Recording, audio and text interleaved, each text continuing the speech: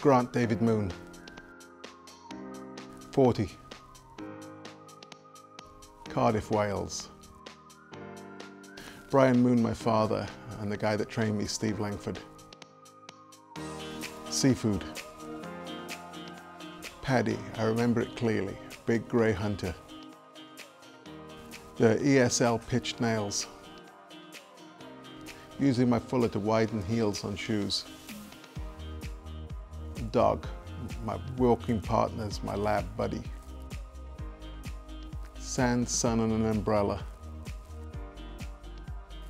Well, Italians are confused the Americans without, the British with.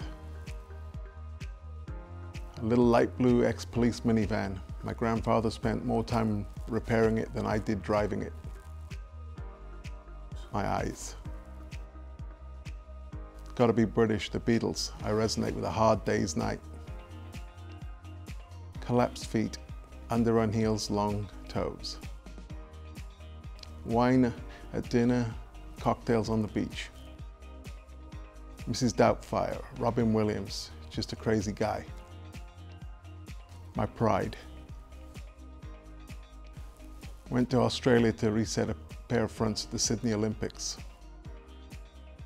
become a better farrier.